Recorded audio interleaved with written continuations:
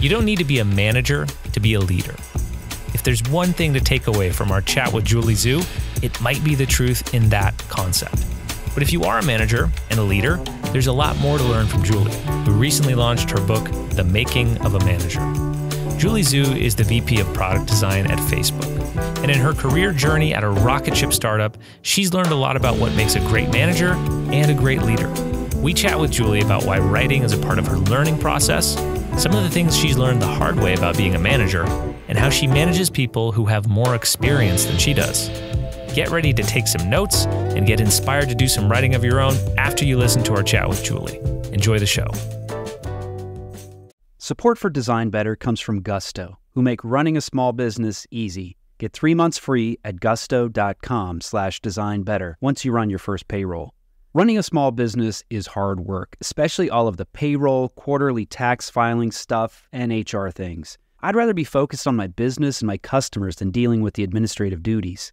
But Gusto makes it easy. They automate the complicated parts of running a business. With Gusto, I never miss federal or state payroll tax filings, and I love the time off requests and time tracking tools. Gusto even offers a small group health insurance option for nearly any budget. When you run into issues you need help with, their HR experts are ready to help. It's a very well designed product, easy to use, and great emotional design that will put a smile on your face. Design Better listeners get three months free once they run their first payroll. Just go to gusto.com slash design better. That's gusto.com slash design better. I've worked with lots of search firms, both as a leader searching for new talent for my teams and as an individual exploring new steps in my career. But I trust none more than Wert and Company. Since 1995, Wert and Company has been the design community's most trusted search firm, co-founded by a designer and led by a CEO who has in-house operational startup experience. Wert and Company is guided by the principle that creative leadership is essential to business success. They've helped some of the most admired brands from early stage startup to Fortune 500 build world class creative teams. We're talking about companies like Airbnb, the New York Times, the Four Seasons, Notion, Figma, Google, Cartier, and Faire. Not bad. If you're looking for a partner to help you find the right person for a critical role, look no further than Wert and Company. And if you're looking for your next design leadership role, Wert and Company will guide you through the process as a friend and a champion throughout your journey. They take the time to get to know you, to understand what you need professionally and personally. Whether you're looking for your next role or your next team member, Wert and Company can help you find a meaningful relationship. Visit wertco.com to learn more and get in touch. That's W E R T C O.com. Julie Zhuo is the VP of Product Design at Facebook, but it isn't only her role in leading teams at one of the fastest growing companies in recent history that she's known for. Julie began writing about her journey and the things that she's learned on Medium, and now she's published a book, The Making of a Manager. Julie Zhuo, welcome to the Design Better podcast. Thank you for having me.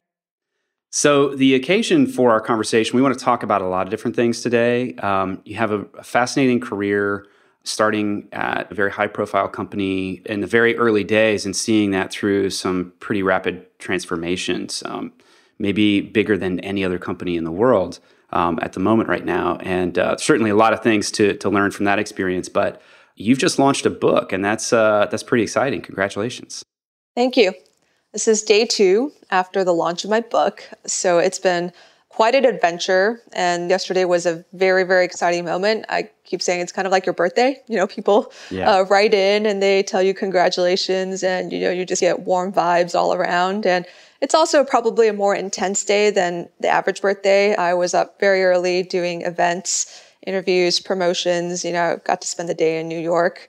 And we ended with an event where I got to hang out with a bunch of women and talk to them about how to give and receive better feedback. That's fascinating.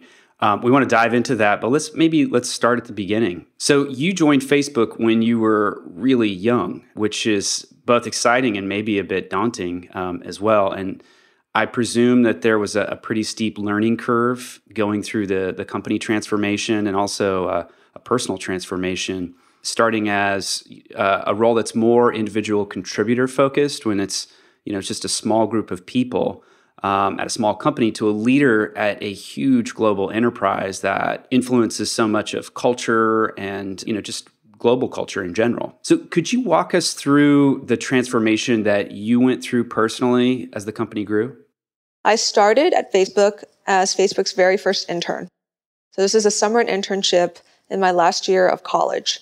And I went because, you know, they were just down the street from where my university was. And I had a very good friend of mine at the time. His name is Wayne. He had just joined six months earlier. He had graduated one year before me. And he said, you know, this is a really, really cool company. Come on. You know, you might think we're just a website, but we've got big dreams and you should just come check it out. At least come check it out for the summer. So he convinced me to apply. I'd actually been taking this course around entrepreneurship and it's kind of a nine month study of entrepreneurship, you know, lots of workshops, a lot of, you know, case studies. And there was a summer internship component where the idea was to find a startup in the local area where I could, again, see firsthand what is it like to be in that kind of startup environment. So I cheated a little bit because Facebook was already on the larger end of startups. It was certainly still a young company, uh, but it had dozens of people. It didn't have like five or six, which is where a lot of you know my peers in that class went to. Uh, but it, it, was you know frankly still in in those early stages where everyone wore many many different hats, and when things were you know still at a very very frantic pace. And you know the most important thing was just thinking about the next feature and thinking about what could we launch tomorrow, what could we launch Friday, what could we put out there next week. To set some more context, Facebook at the time was also just a college and high school site. So when I joined, there were about 8 million users. It was very well known among US colleges. It had just opened up to high schoolers, but you couldn't get on just as a regular individual if you were out of school. And so, you know, nobody talked about Facebook. It was not yet in the news.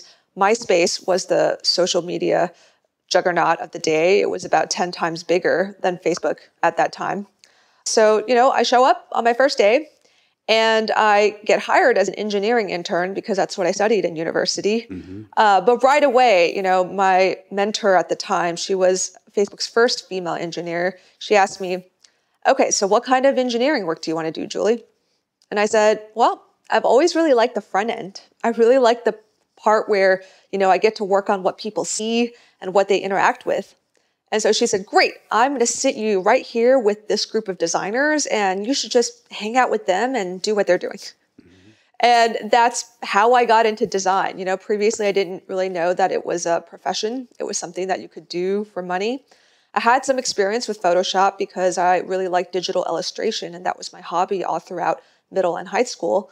But, you know, I hadn't ever done that kind of design work professionally for a company and, and treating it like an actual discipline. Uh, but because it's a startup, lots of people wearing lots of different hats. It's not at all unusual that I, you know, opened up Photoshop. I started to design the feature that I was implementing. You know, we were trying to work on our very first monetization strategy, which at the time was photo books. Mm-hmm. It didn't work out. Uh, spoiler alert. but, you know, I just threw myself in and uh, learned, you know, kind of how to work at that kind of startup, fast paced environment. Three years later, our design team was growing, and that was when my manager at the time took me aside and said, Hey, Julie, you know, we are hiring more designers, and I'm really stretched. I'm at my capacity, and I think we need another manager on the team. Do you want to do it? And that was it. That was the conversation. And I was like, okay. I was excited because, you know, I felt like being asked to manage the team felt like a, a big honor. It felt like a privilege. It felt like the first step in, you know, what I dreamed was a very exciting career. Uh, but to be honest, I didn't really know that much about management. Were there traits that you had that that got you picked? Well, how'd yeah, you get she, that? She told me, "Well, you get along with everyone on the team." okay.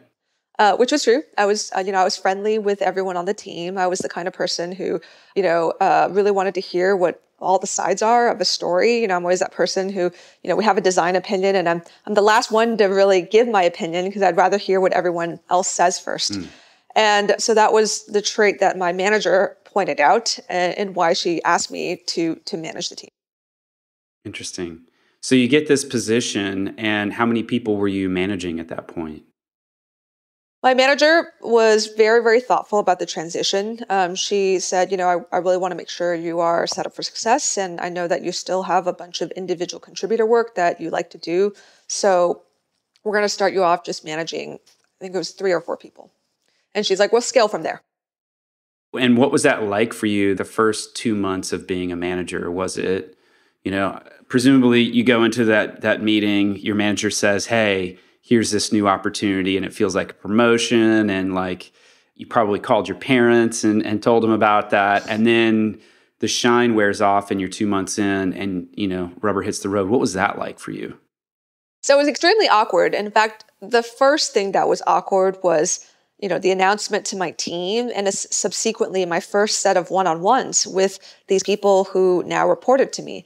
Because literally the day before you know we're peers and yeah. I'm treating them, you know, like another design peer of mine. We were trading jokes and critique about you know, Mac versus Windows and like, oh, this new website redesign, like, do we like it? How do we feel? You know, so we had a very good kind of communal relationship. And to be thrust in this position when I was now their manager, I felt extremely awkward about it.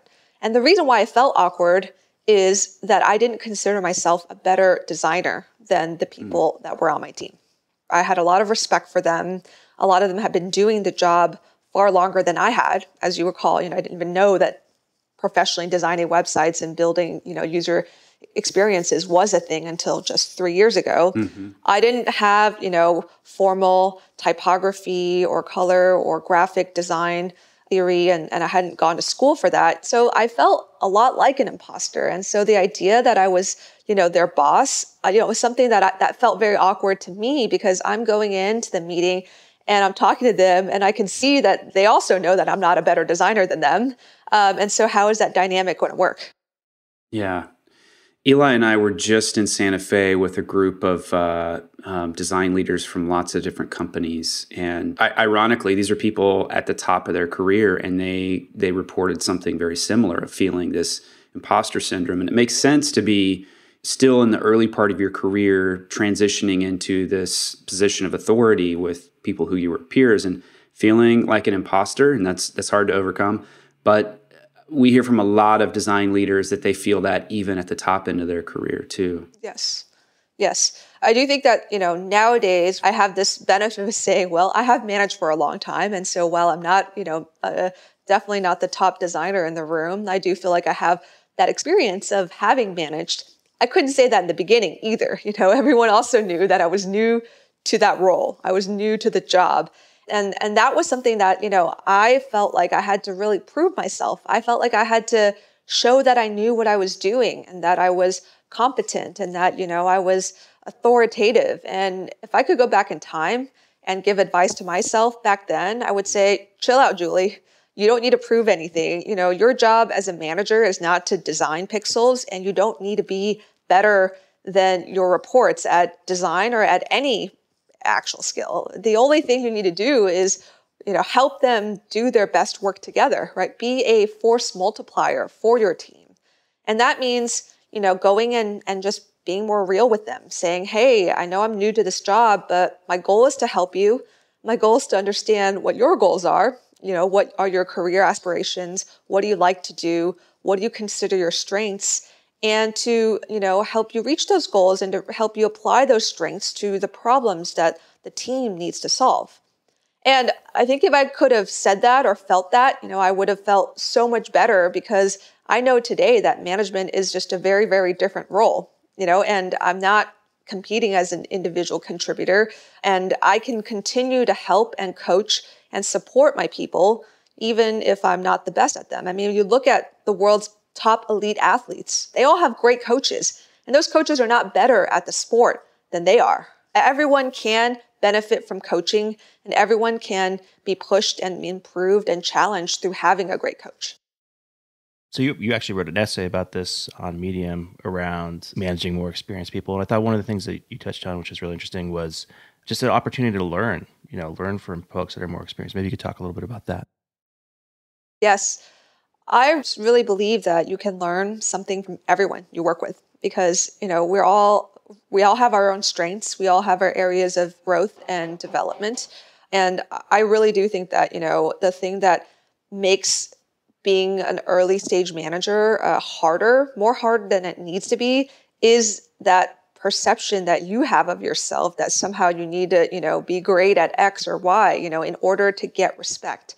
And you know, uh, that might be true in terms of if someone just doesn't know you very well and is just looking at what are your credentials on paper.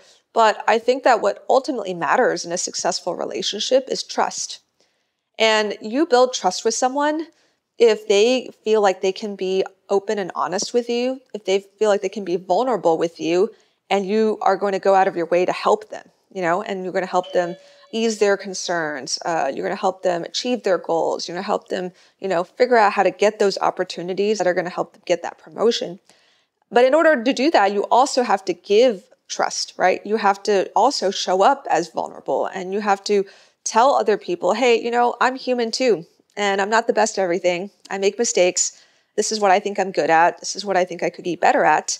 And we're just going to work together. You know, we, we're going to go and help each other.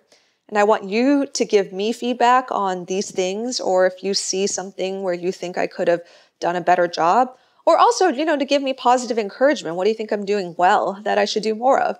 And I will try to do the same for you.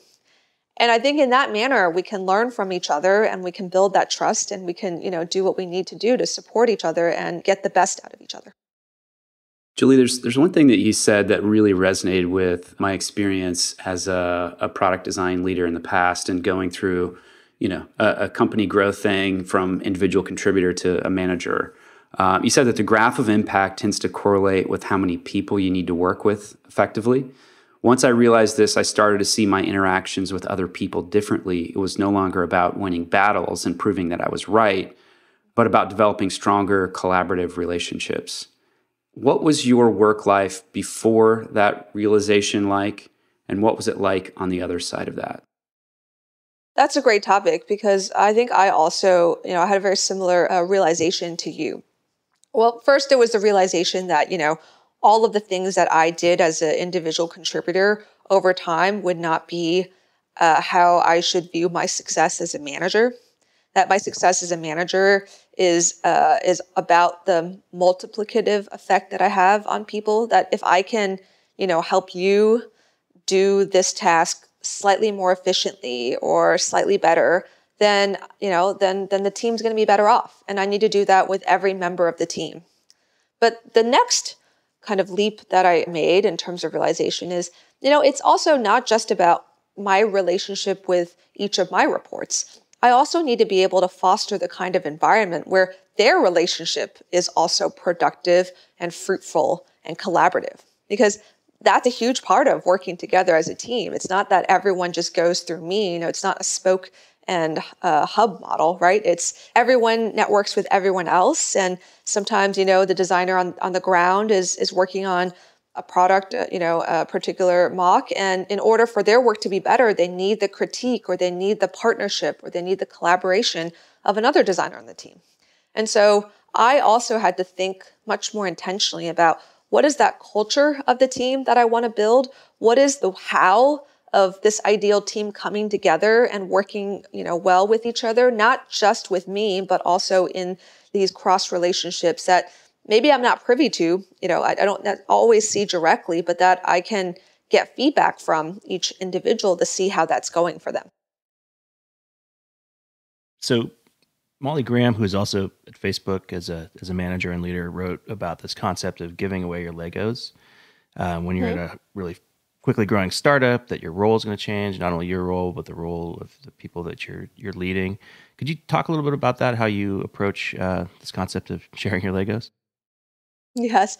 I love that article by molly. Um, it's really that analogy has really stuck with me and resonated with me because the thing that i think uh, can be very very hard to let go of when you transition from being an ic to a manager or when you start or you even transition from being a manager of a smaller team where you again have a lot more direct relationship and access to projects to managing a larger team where maybe you're managing managers and so you don't have as much of that direct access and and each step of that journey and pretty much in each step of any part of scaling, right? Of going from a smaller team or a, a smaller organization to a bigger organization, uh, it can feel very hard because it, the thing you might have thought once is like, hey, when we were four or five people, I was 20% of, of all of the decisions made, or I was 20% of the output of the team, or I was involved in basically every decision, you know, that our team made, right? So if, you know, we were four people and we needed to hire the fifth person, it's like, I'm on the interview loop. I'm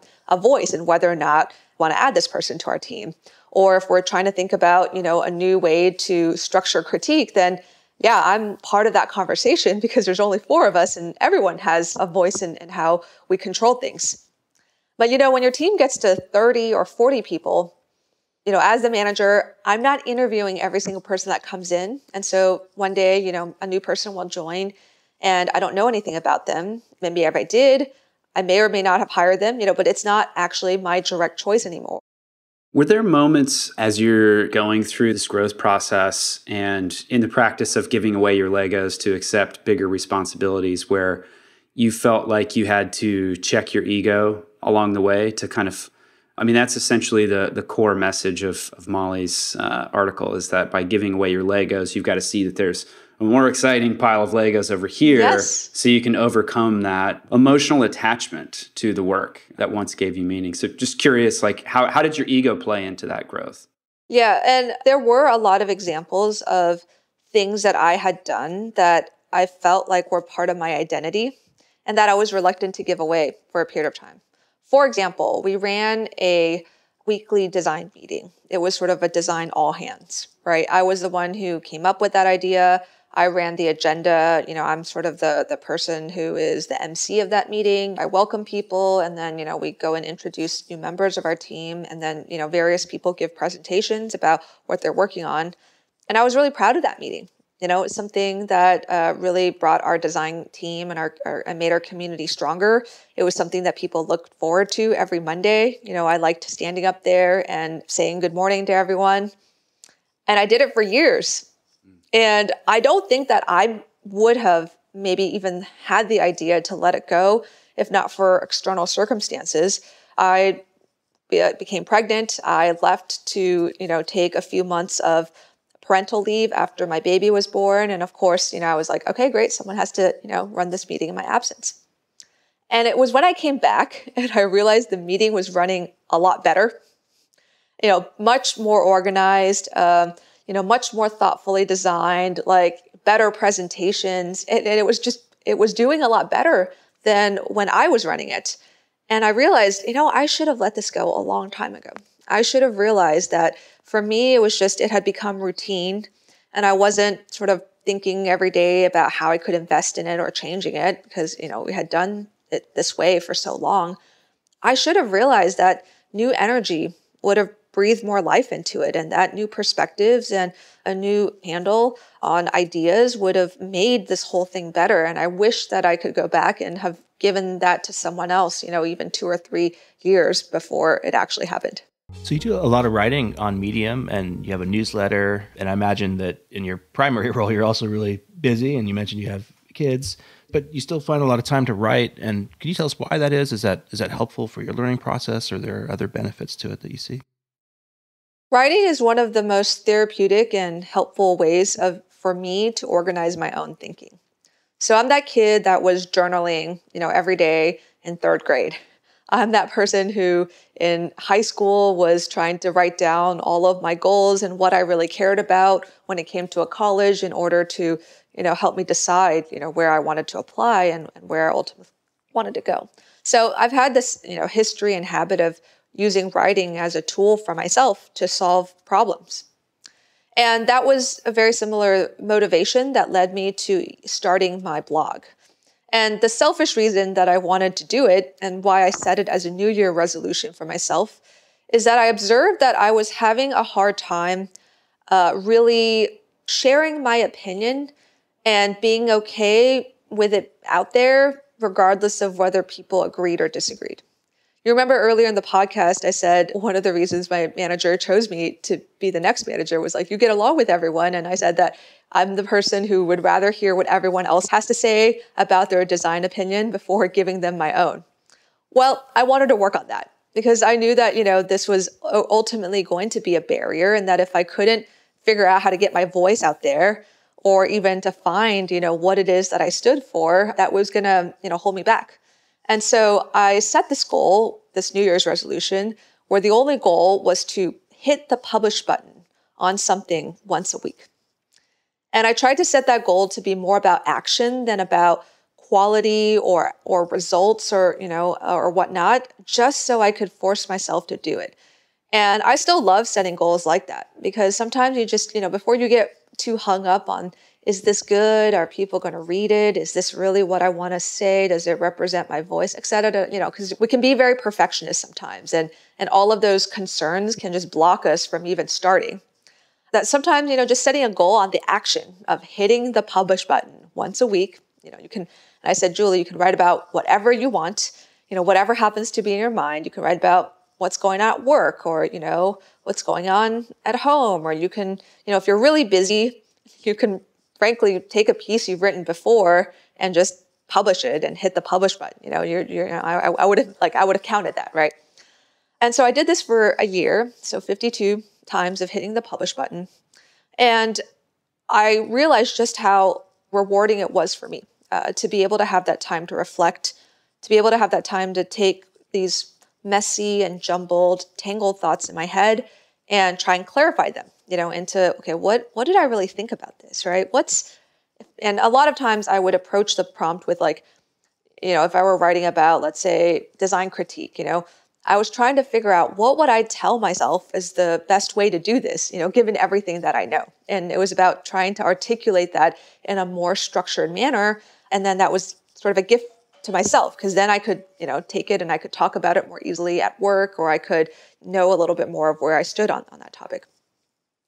Now, I remember the first few weeks, it was actually really excruciating, you know, because then I got that kind of perfectionist syndrome and I wrote a sentence and I would start tweaking it before I even wrote the next sentence. And, you know, to be able to get to the point where, and I would, I, I also remember being very, very nervous, being like, oh my gosh, like, is this topic going to resonate? Are people going to think I'm an idiot for saying this? But that's what the practice was about. It was about getting comfortable, getting over those concerns and those barriers. And it took me a long time. I remember the first few articles that I wrote that year, I probably spent like eight hours on them each you know, which is a really long time. But by the end of that year, I was able to crank out something in like an hour and a half, an hour and a half to two hours. You know, I had trained myself to think in a more structured way and to get through those hangups, those hangups around perfectionism, those hangups around like being worried what someone was going to say. And that was really motivating to me. And the other thing that was motivating was a lot of people responded really well to my writing. And again, this wasn't the goal that I set out to, you know, try and do when I started, but it was really, uh, you know, it was very heartwarming to hear that some of the things I was struggling with were universal. That lots of people felt that way, and people in different contexts, in different industries, a completely different team environment. And so that was also, you know, something that has continued to inspire me to write and to start my mailing list with the Q&A answers and to, you know, ultimately write this book. Support for Design Better comes from Gusto, who make running a small business easy. Get 3 months free at gusto.com slash design better once you run your first payroll. Running a small business is hard work, especially all of the payroll, quarterly tax filing stuff, and HR things. I'd rather be focused on my business and my customers than dealing with the administrative duties.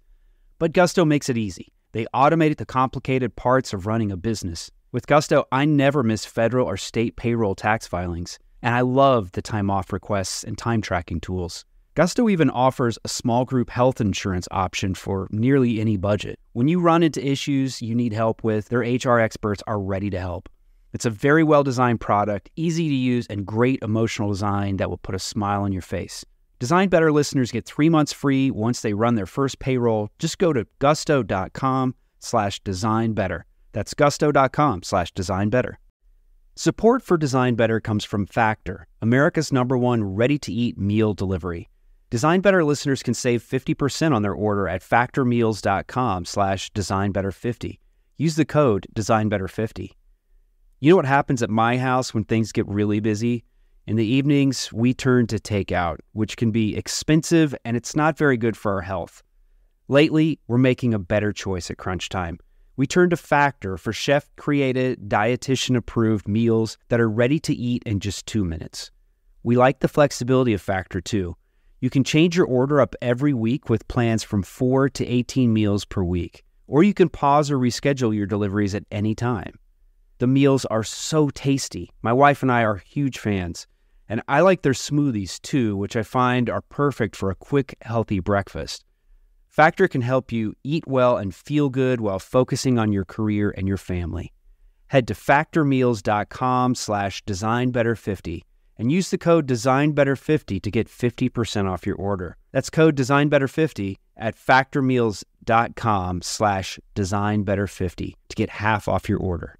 Support for Design Better comes from Uplift Desk who help you work better and live healthier. Eli and I log a lot of hours at our desks, which can be detrimental to one's health if you're not paying attention to ergonomics. Uplift Desk offer high quality, well designed desks, chairs, and accessories to help you build an ergonomic workspace for home or work.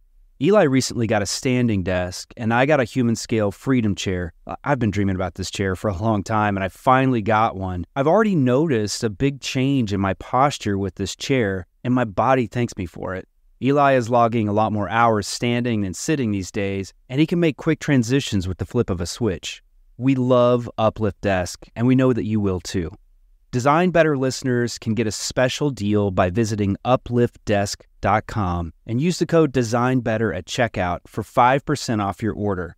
You'll get free shipping, free returns, and an industry leading 15 year warranty. Go to upliftdesk.com, use code DesignBetter, and get 5% off.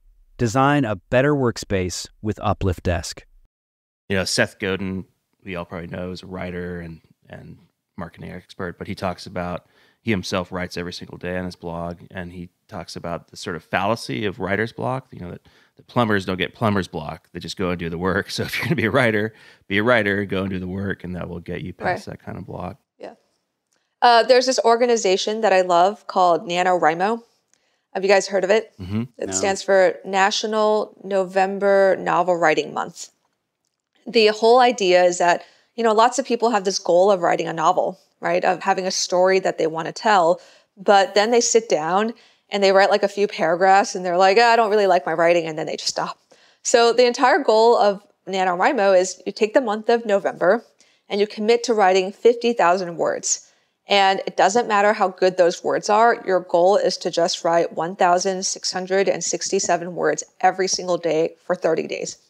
And then you'll have a 50,000 word manuscript. And then you can you know you'll have something you can respond to you know you can start to edit it. You can start to chop things up and say oh this part works and this part doesn't. But it, you know it is also an accomplishment right? There's this real sense of having done something after you get to the end of that month. I think part of the allure of your writing too is that it's so accessible. And I think that if you had taken a different approach and not set up this framework of like just ship it, just make a thing and put it into the world to build the muscle, but also to be okay with the vulnerability. That accessibility, that, you know, it's not perfect. You're someone whose work and influence is an inspiration to a lot of people, but presenting those ideas as not totally buttoned up, as almost like a sketch instead of a, a perfect rendering makes that more accessible and I think resonates with a bigger audience. Yes, and the other valuable thing that I get as as part of that too is sometimes people will share a riff on the idea or you know say hmm yeah that's an interesting way of thinking about it but have you thought about that? Or point me to another book or article or a resource that they read that you know was something similar and i learned so much from that too. That is what helps me refine my thinking and my concept of you know how these things should go and i think you know this is very very similar to design and that's why I think it's so important as a designer to show your work often, to put it in front of other people and to ask for their feedback. Even if it isn't perfect, even if you know that, yeah, okay, I could have done, you know, this or that better. But the more you do that, the more you get inspiration, you get ideas, you get a new way of thinking that you might not have considered before. And then you can go take that and refine your work, and you're going to come out with better design work. Well, that's a good bridge to talking about your book. You've got this new book about management and the learnings over these years, transitioning into management. And I think it's a really salient topic and feels like it's written in a way that I think a lot of people who find themselves in this transitory position will, will identify with. But we're curious why this book and why now? So, when I became a new manager, have this memory of going to the bookstore and trying to find some management books to help me out. And I remember finding, you know, a lot of really, really great things. But a lot of them were about here's a particular organizational trend that you should be aware of, or here's like a new theory about how, you know, you can run a great team, or here's a practice that you should take and you should incorporate every day into, you know, how you manage. And I read a lot of that, but what I realized was there's nothing, there was very little that was just, hey, here's everything you need to know. Here's like the basics. Here's the one on one on how to have a good one on one with someone, how to run a meeting, how to hire someone and do an interview, you know, how to have a hard conversation and performance manage somebody who isn't doing well on your team, right? There wasn't some place where all of that was shared in a way that felt appropriate or maybe at the level that I was as a new manager. And the reason why I wanted to write this book now is I realized this is the book that I could write now, and it would probably turn out better than if I wrote it in 10 or 15 or 20 years because I still really remember what it's like to be a new manager. The emotions of that anxiety, of that uncertainty, feeling like an imposter day in and day out, you know, having all those questions, feeling like I had to prove myself, like letting my ego get in the way of various decisions. I still remember that really well. And I don't think I would maybe if, you know, another 20 years passed. I think by then maybe I could there would be other wisdom that, you know, I'd be excited to talk about or share at that moment. But that I wanted to write this now because it's like me going back in time 10 years to when I was 25 and having coffee with myself and just, you know, sitting down for a couple of hours and saying, "Hey, here's everything you need to know.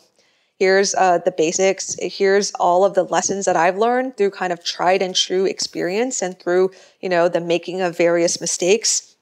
I wanted it to sound conversational and i wanted it to be extremely pragmatic and actionable rather than theoretical and most important of all i just wanted to reassure people that they were going to be fine that they're going to figure it out and that the whole process of management is learning and so much of the learning is learning about you and yourself and, and the things that you do well, because that's what you need to lead with if you want to create a strong relationship or partnership with someone else. So, in the kind of lead up to writing this book, you, you also wrote that you have a chance to create a bit more representation in the voices talking about leadership. Um, so, what are some of the learnings that you're excited to share as, as a voice for female leaders or, or other folks who might be underrepresented in these types of leadership books? One stat that I learned when I was doing research for my book that really astounded me is that in the United States, since the 1980s, there have been more women managers than men. And I thought that was quite remarkable because, again, you go to the business section of the bookstore and you see lots of things written by, you know, former CEOs or leadership coaches or executive consultants, uh, people like that. And most of them are men. So I don't think you would have had that impression that, wow, there are more women managers, you know, out there uh, than there are male managers.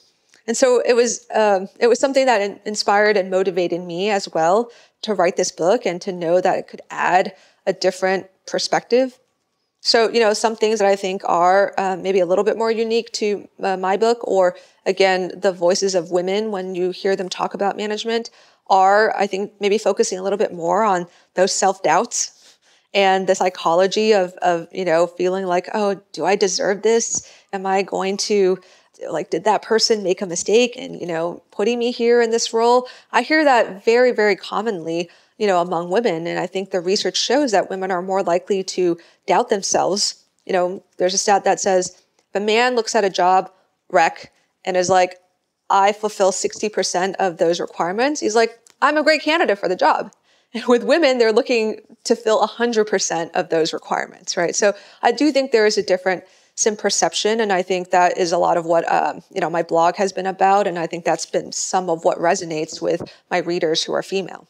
I think another one is just, you know, for me, diversity and inclusiveness is really, really important when we think about building teams.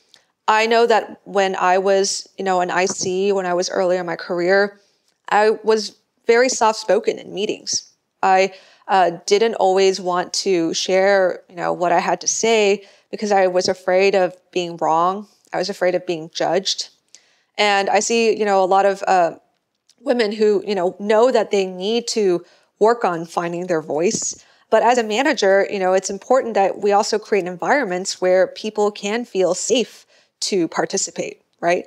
And there's a lot of ways that you can run meetings where you go person to person and you ask them their opinion, or you know, you give everyone some post-it notes at the very beginning and you ask them to write down their thoughts. That works really well also for folks who are a little bit more introverted, who maybe aren't as comfortable thinking on the spot and then saying what they think out loud.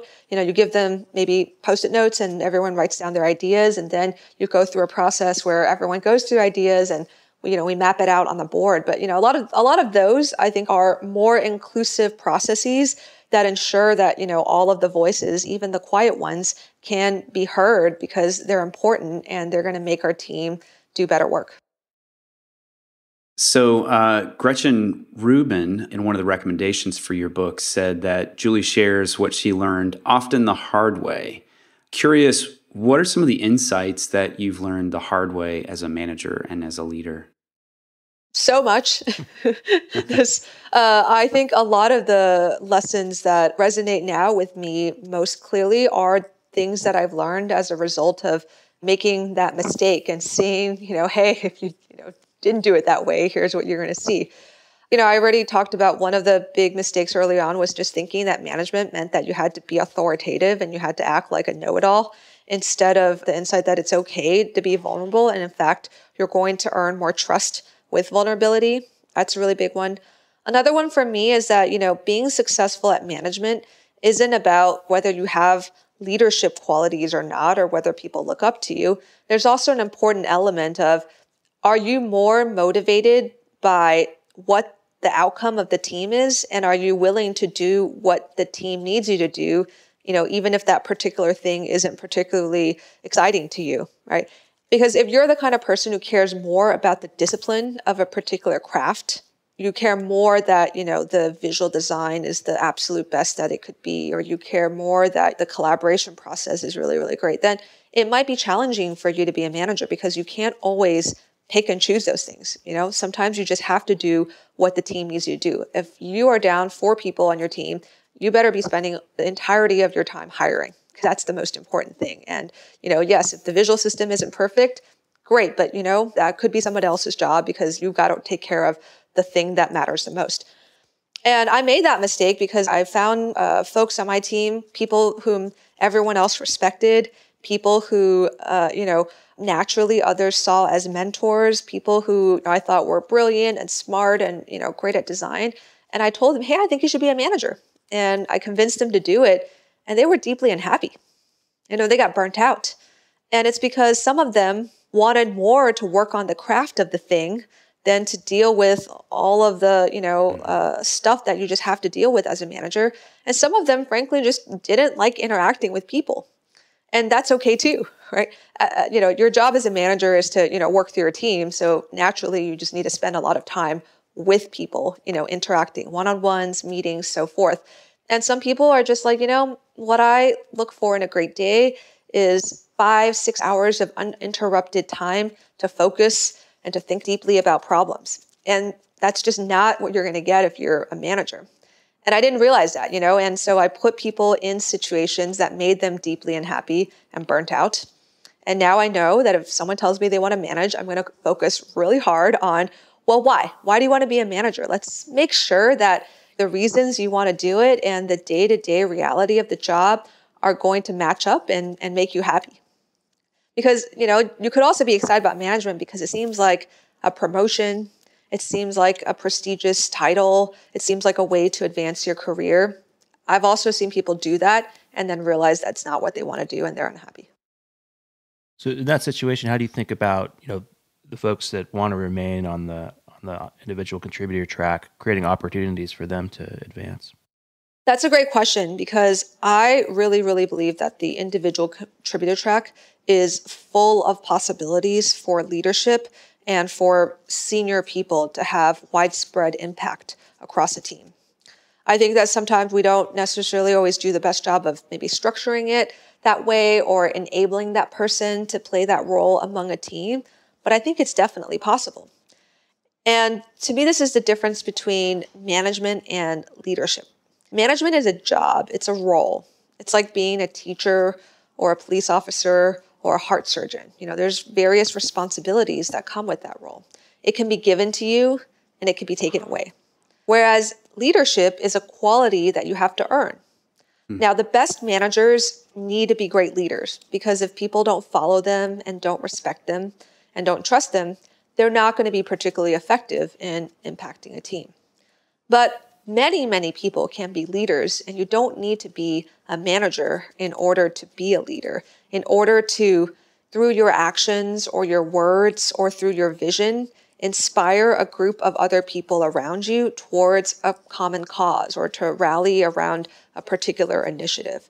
And so with individual contributors, you know, I like to sit down with them and understand what they consider their strengths, you know, their areas of passion are, and to figure out how to help them basically have that multiplication effect, right? So if someone is maybe a brilliant systems thinker and they really, really care about having a robust and kind of well-designed system in place for the, you know, entirety of the design structure and organization, then how can I help them play that role? You know, how can I help them act as that mentor or act as that design lead and architect maybe that system and figure out what are the right processes by which they can make that impact and ensure that the rest of the team is aligned towards that goal. I find that I often do have to help mentor individual contributors on the art of delegation because that is a skill you need if you want to lead a group of people, again, regardless of whether you are a manager or an individual contributor. At a certain point, you know, if you're, you know, the most brilliant designer, you, you still can't be moving every pixel yourself. Again, if you want to be able to oversee a, a larger swath of the product, right? And so you have to get comfortable working through other people. And that means giving them very specific feedback on what's working and what isn't. That means clarifying what the expectations are, what the roles are. That means being able to help coach, you know, another designer to enable them to do their best work, right? All of these are shared qualities among leaders, whether or not you are a manager or an individual contributor. One of the challenges as a, a, leader of a design team is also to protect the team from the occasional swoop in from executives or people at a higher level. And you've written a bit about navigating this scenario. I wonder if you could talk about this. This is such a, a common thing that so many design leaders deal with. The skill that I feel like I've had to work on the most in recent years, you know, now that I manage a much larger organization and that I'm again playing a slightly different role where I'm not in all of the details, but I have to represent the work of the team as a whole and get buy in for the important and maybe controversial decisions that we're all a part of.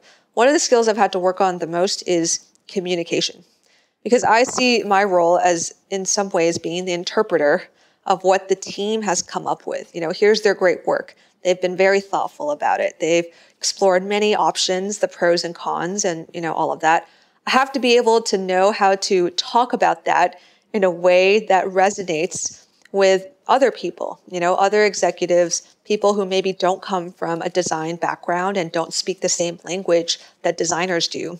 I think that becomes a very a critical skill in order to provide the things that you were talking about for your team, in order to represent them well, and in order to buffer them from thrash or you know all of the things that might happen in a large organization. But that's one thing that I actively work on, and I know that if I get better at this, then I'm going to be much more effective as a leader for my team.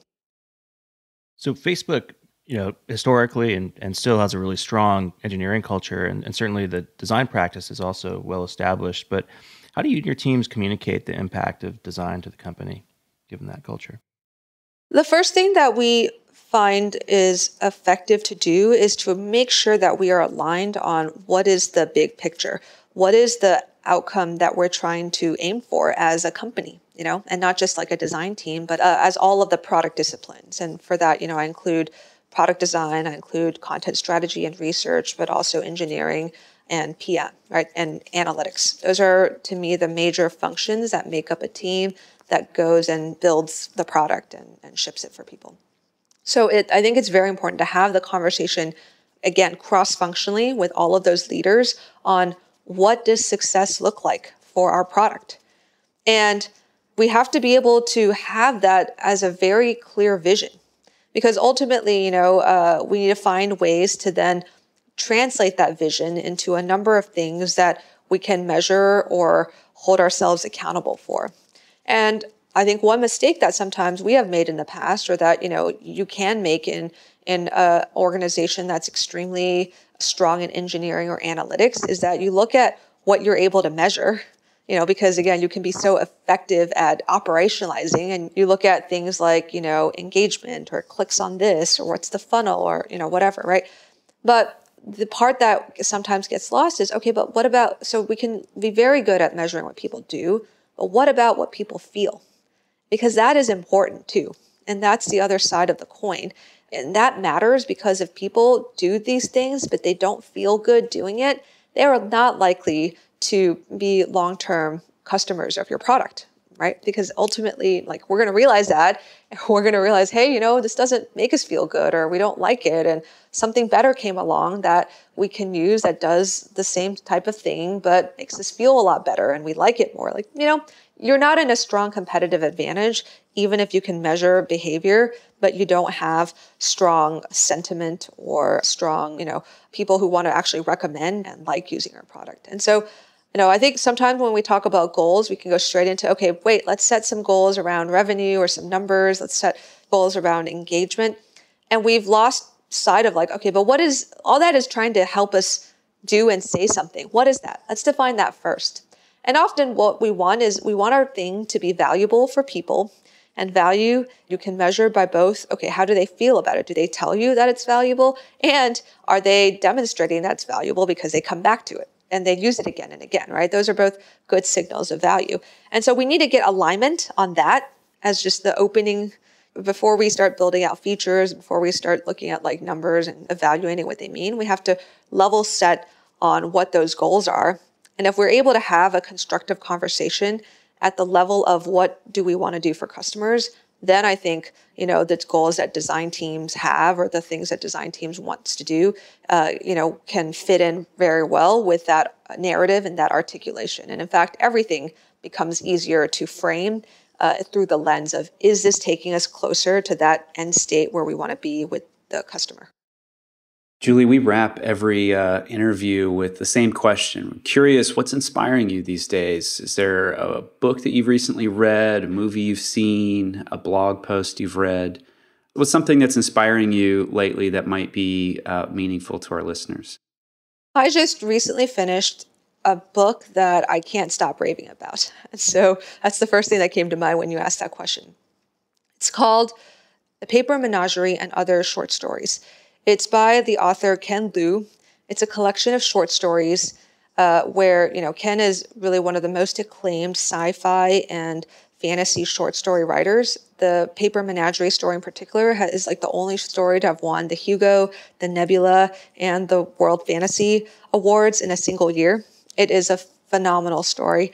But, you know, because he's a sci fi and fantasy writer, you know, he, a lot of his short stories deal with kind of these visions of the future, you know, things like the creation myth and how would that work with AI, or things like what is the intersection in which a lot of times technological advances can feel like they're taking away from maybe some of the humanity of the work, right? You've seen that through the Industrial Revolution in the past, but he has a lot of short stories that examine, you know, those qualities and those moments in time. And they're all centered around, you know, maybe a few key individuals. So there's like a powerful narrative about families, about people in love, about people trying to, you know, make their way in the world, uh, you know, against this backdrop of technological progress or war or, you know, basically culture clash between East and West.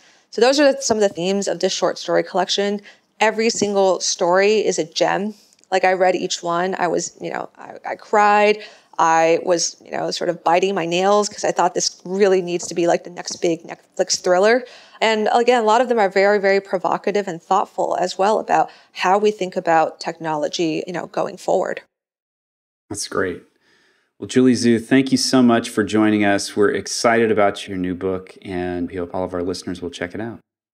Thank you so much for having me. This was a real pleasure.